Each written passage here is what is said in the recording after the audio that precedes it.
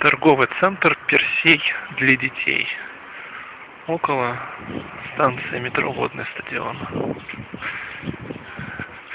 Он еще не снесен и, видимо, не планируется к сносу. Снесли только часть этого торгового центра, которая занималась продажей обуви.